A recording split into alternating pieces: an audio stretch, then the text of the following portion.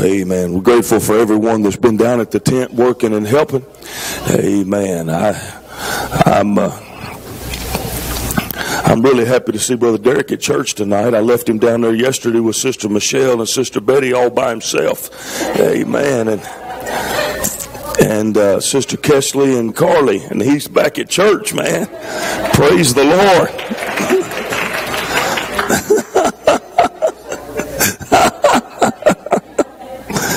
Amen. Ain't none of them here, so we can talk about them. Amen. If they wanted to hear what we were saying about them, they should be at church. Amen. Ha. I don't guess it's talking about them behind their back, Brother David, if I just do it right here at church. I thought they'd be here. No, I'm just teasing. Amen. I'm going to review just a little bit. Then I'm going to finish what that we did, what we started on last Wednesday. Uh, and, uh, uh, and, and I tell you, uh, I, guess I kind of owe you an apology. Because uh, ever since Sunday night, does anybody remember what I preached Sunday night? Oh, Sister Kesley is here.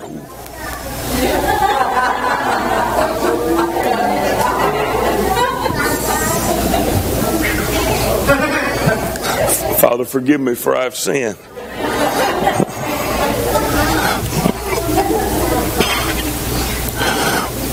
Um, Sister Crystal with a K, do you care if I tell tonight what happened today? in the middle of my message because it's going to fit. You're going to be, it's going to amaze you when it, when I when I start getting in here. And I done had it from last Wednesday, but uh, uh, I, owe you a little bit of an apology because I did, did anybody say they remember what I preached Sunday night? Oh man, alive! I'm quitting. I've, I've been re-preaching that ever since then, Brother Pete, in my mind. And I've read it again and I've went back and looked over it and thought about it. And, and quite frankly, it, it is kind of melted into what I'm going to preach tonight. Um, I, I, usually, uh, I usually use all King James version of the Bible. It's uh, it, it's just worked for a long time, Brother David. It's it's been for over 400 years, and it's uh, it's I love it. I, I, know some of the language is out of date a little bit, Sister Maria, but I love it. I love it. The, the 23rd Psalm doesn't sound right anywhere else. You know, it, it just doesn't. But I, uh, I go to different versions of the Bible and I, I, I read them and then go back to the King James Version, Brother Pete, and sometimes it sheds light on maybe a, a few words or uh, uh, different things. But I'm gonna I'm gonna hopefully help you tonight. Here's the goal. It's a call to spiritual growth. Okay, that's where we were last Wednesday. But I feel like that where I want to lead you to tonight, by the help of the Lord, is to the place. And I've I've mentioned this before but I hope to be able to lead you tonight through a renewed hunger for the Word that you can get yourself fixed by the Word of God before you ever come to the house of God.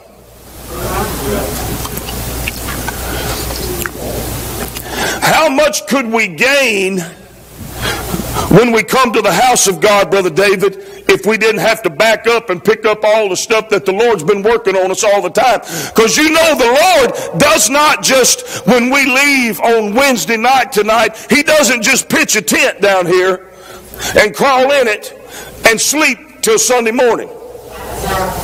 But He's working on us all the time. And uh, like, I, I'm going to just use this illustration. Maybe you're here tonight, maybe you're not. Maybe it's safe tonight, maybe it's not. But Sister Casey and I were talking right before church.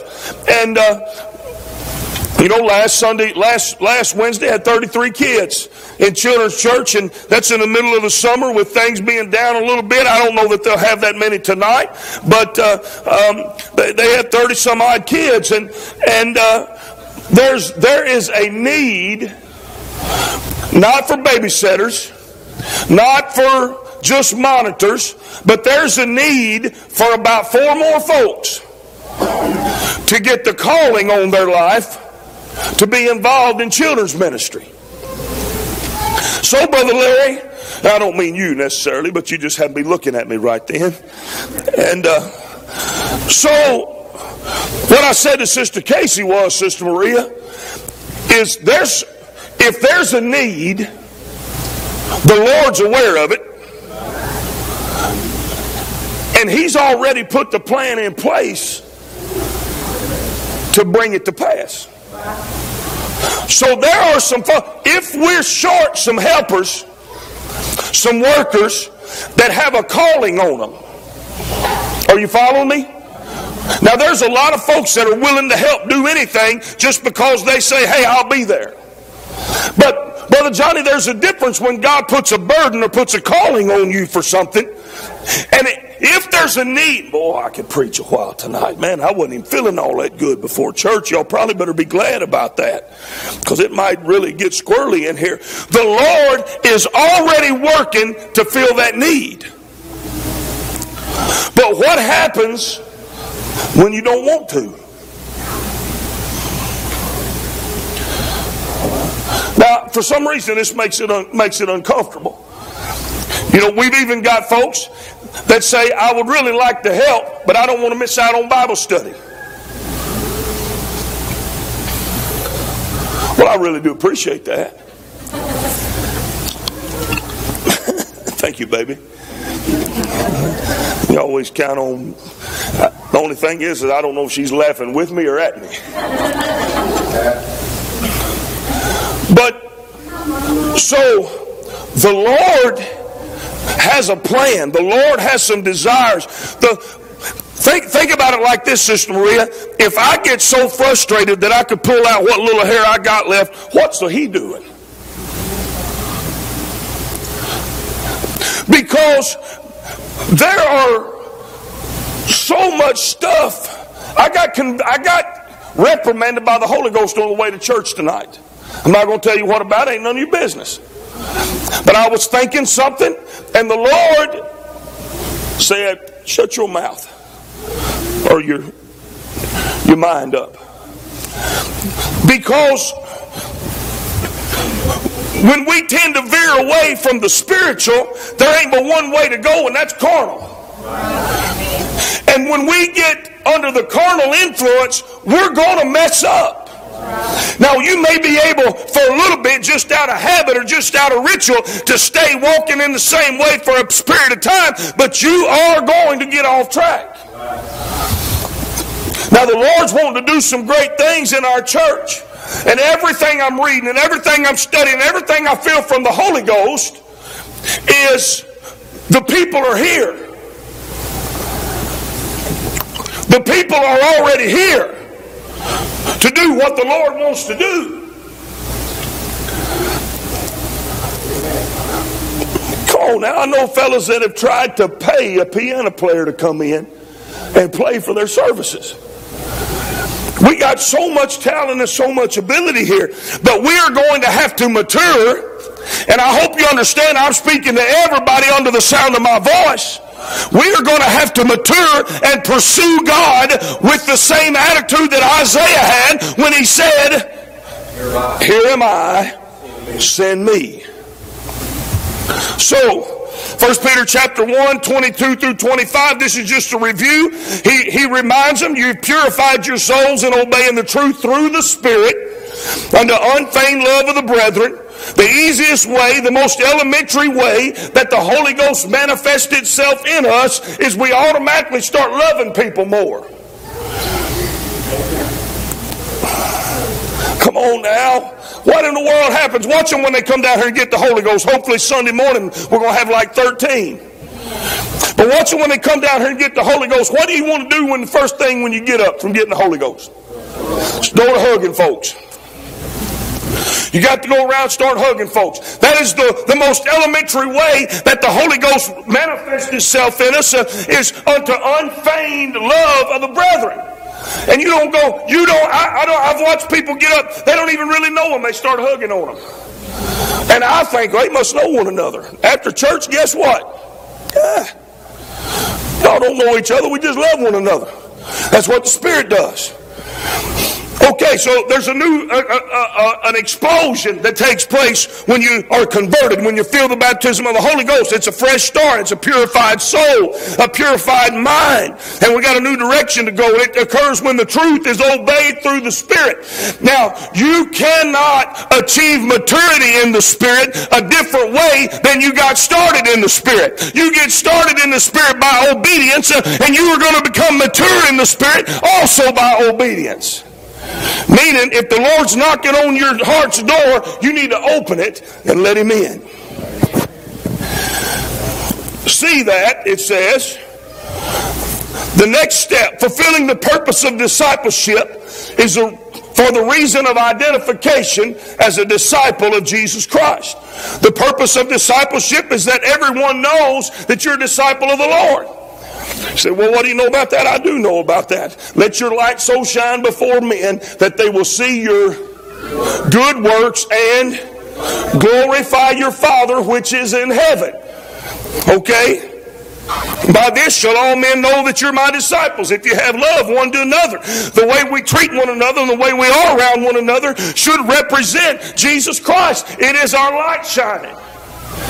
Being born again of incorruptible seed by the word of God. Being born again, not of corruptible seed, but of incorruptible by the word of God, which liveth and abideth forever. Verse 23. For all flesh is as grass, and all the glory of man is the flower of grass. Meaning, as beautiful as you might be today, it could be gone tomorrow.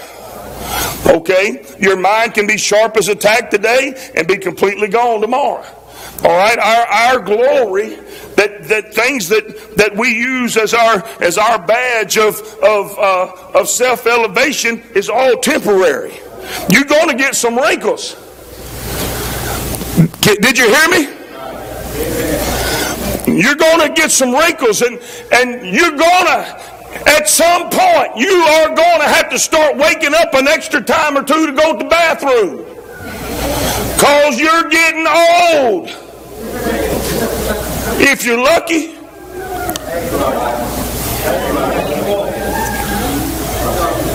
Amen, brother. Sister Nadine says, shh. No, I'm just, just teasing. Okay? Our, our glory fades. That's why we have got to get a relationship with this. We have got to because, Brother Billy, it doesn't fade. In this passage, in between the covers of this black, black on black book, is everything you need to get an answer for every question in your life. And it's going to be the same. It's going to be the same. You can go in the book, and it's super exciting. Take Matthew chapter number 4, for instance. You can go in the book. Now, I'm going to use this as an illustration, but I'm, I'm all over the place a little bit, but you have to forgive me. I had heard Jesus being tempted in the wilderness all of my life. I remember being in Sister Barker's class. And we used to have some of them, we might still have some of them around here. But, but Brother David, they were these little people, and you stuck them on felt. Y'all remember that? And it was visuals. We've come a long way, baby. Okay? But I remember learning in Sunday school about make these stones into bread Throw yourself down off the temple. Worship the devil. I remember hearing all that. And then Jesus says every time, it is written, it is written, it is written. But until I begin to preach the gospel, in or around at this particular time, probably about 1996 or 97, I never, Brother David, never had went and looked up in the Bible the scriptures Jesus said. I just read it like it was there and took it for granted. But then I begin Sister Maria, when I went back and read it, I got like, oh my goodness. The same words can come out of my mouth that came out of Jesus' mouth. Same words. And Brother Billy, they're still as effective. It is written, Man shall not live by bread alone, but by every word that proceedeth out of the mouth of God. And then we had always been taught that the devil said, Throw yourself down, for it is written, He shall keep you, lest at any time you should dash your foot against a stone. So I just read it until I went to the Bible and I read and understood that the devil messed that scripture up. So my point is, is there is a treasure in here. There is a treasure in here. Let me move along. I'm already about done, I guess. No, we just start at seven now, don't we? Not six. I saw 741 and I thought, man, that like an hour and something went by fast.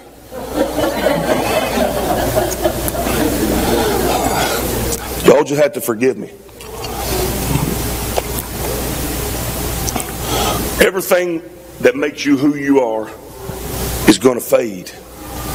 The grass withereth and the flower falleth away, but the word of the Lord endureth forever. And this is the word which by the gospel is preached unto you. And then he says, and I went into it all, wherefore laying aside all malice and all guile and hypocrisies and envies and all evil speakings. So the new birth is the beginning.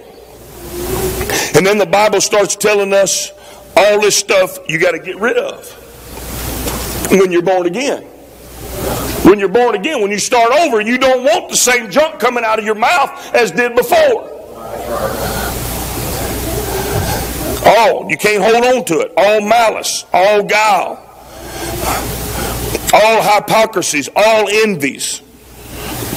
Anybody remember the difference between envy and jealousy? Anybody remember it? What is it, Brother Larry? Envy is when you don't even want them to have something to do. and jealous, jealous, I wish I had it. Envy, I just don't want them to be blessed. So, this first section that we just read deals with the need for radical change in our relationships with others. There's no wiggle room. There's no justification. The Lord doesn't say lay aside all malice and all hypocrisies and all guile and all envies and all evil speakings unless they give you the finger when you cut them off in traffic. Huh? You feeling me? Unless they pulled your hair way back in the fifth grade. Okay, we like to. I have heard it before. And I'm just going to give you forewarning. I am praying for courage and wisdom. I need both of those things. That when I hear you say it, I want to call you on it. Brother David, there have been people say, I know you've been preaching about that, but this is why I didn't do it.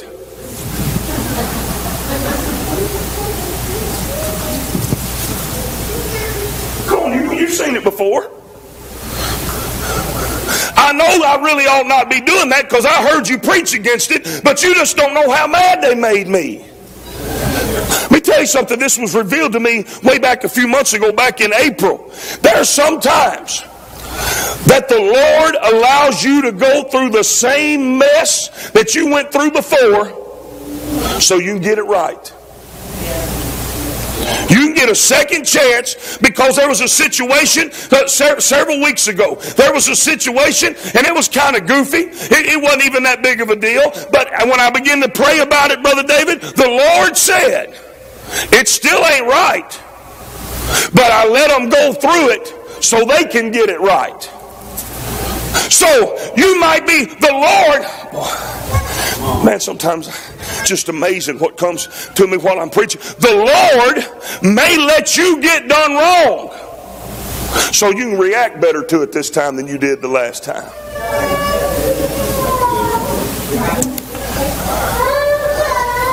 Brother Billy, the Bible says as long as you're in the world, there's going to be jacked up people that mess with you.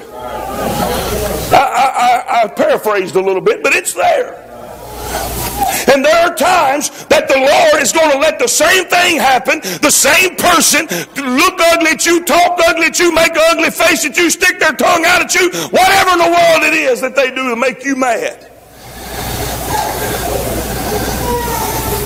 They might get the last cabbage patch baby on Black Friday like they did the first five years in a row.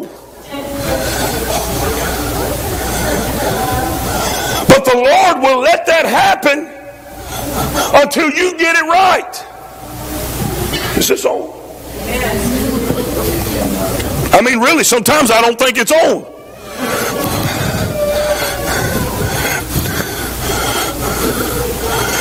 Because, Brother David, listen to me. I'm just telling you, the Holy Ghost is amazing, Sister Maria. It is amazing. Because when I had that, I knelt down to pray. And if I'm lying, I'm dying. I prayed about a certain situation. This is the truth. Like old Wendy said, Brother Pete, with my hand up. If another situation did not rear its head up the same evening that had the same answer, two totally, completely unrelated things, but it was the same junk and it had the same answer. Basically, I'm giving you another chance to get it right this time. But the response was, Not again! They still did you wrong. Nobody's saying they did you right. But Brother David, I oh God, I feel the Holy Ghost right now. I don't have to be taught to react appropriately when people do me right. But I've got to be taught to act appropriately when people do me wrong.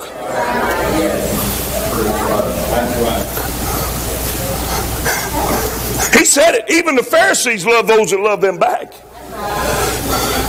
But it takes somebody with the Holy Ghost to learn. So, what's the silver lining behind this cloud? If you've been messing up over and over and over with the same thing, the next time it happens, get you some. Come on, big boy. I'm ready for you this time. Because you heard on Wednesday night when half the folks wasn't here. You knew you were here on purpose because God needed to tell you, I ain't messing it up again. I'm going to get it right this time. And then the next time I'm done wrong, I'm going to get it right. Because when you act a fool, it don't matter if you've been done right or wrong. You act a fool, you open yourself up to the devil. And you ruin, you ruin your witness. Here lately there was something going on. I may not even stay on my notes. Is this okay? Here lately there was something going on in my life and uh, not not a sin. You know, I wasn't I wasn't you know looking at bad stuff on the internet or none of that. Not, it wasn't a sin. It's just, uh, brother Billy. Sometimes you start weighing something out in your mind. You know, put it on a scale and wonder about this, and then it goes, and the other side comes up, and then you put that on there. Y'all know what I'm talking about? Does anybody remember them old scales Grandma used to have? And you start weighing stuff out in your mind. And you know, Sister Maria, I'm praying about it.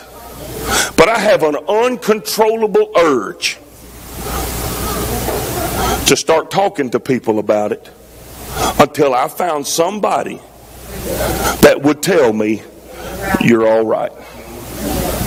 And every time I would start to do it, Sister Maria, have I said your name like 50 times tonight? Let me, let me call out somebody else.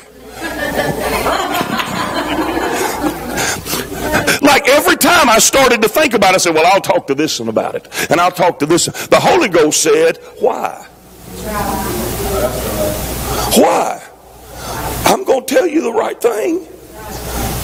And if they don't agree with you, you ain't going to listen to them anyway.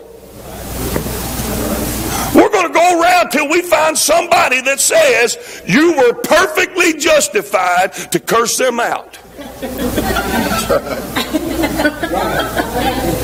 Now, I know I stretched it just a little bit, but not much based upon your responses. You were perfectly justified. Because that's the way it works. You find somebody else that's just as carnally minded as you are, or somebody that's too chicken to tell you the truth. The things that the Lord has for us, the ministries that the Lord has, the giftings and the callings that the Lord has for us are immeasurable, incomparable. You're not going to find a bargain at the store that can compare to walking in the fulfillment of what God has for you. So stop being sissies and wimps and flunking every test that comes your way. I'm not being facetious right now. I'm being for real. Because me and the Lord, it started with Him, but me and the Lord got some big plans for all of you. I love it when I start looking around and half the people go, mm.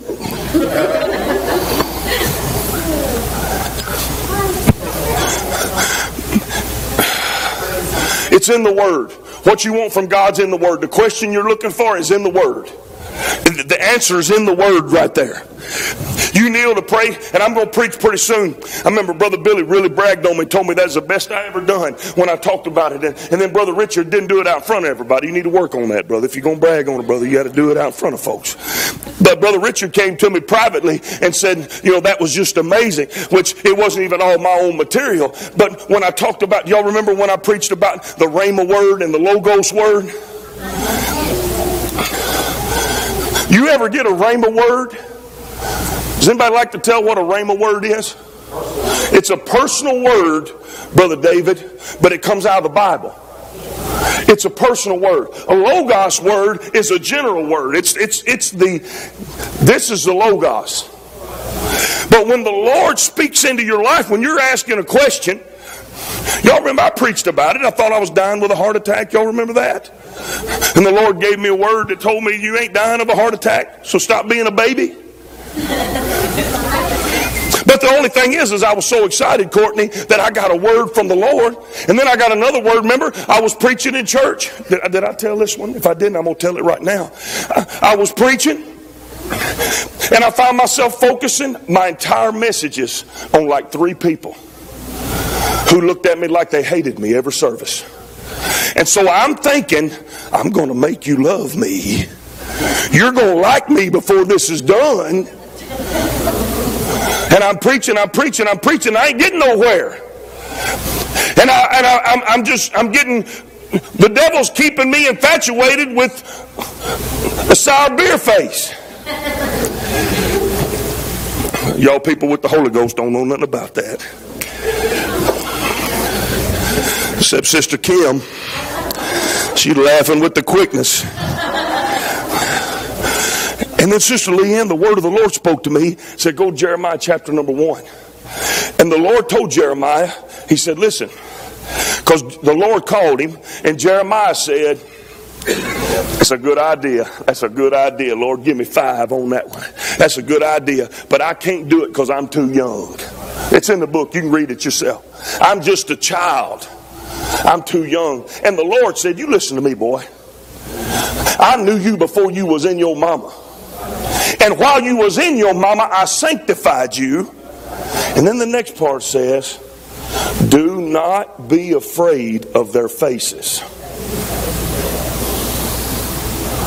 Brother Billy, I nearly had to come apart. I mean, it was like, you know, you know that you're in the Holy Ghost when you run the aisles all by yourself. But I'm telling you what I'm preaching to you tonight, and, and so don't get distracted and stuff because I probably won't going to keep you much longer. Children's church people are going to love me tonight. What I'm telling you is, is for every question you have, for every battle you're going through, there's an answer.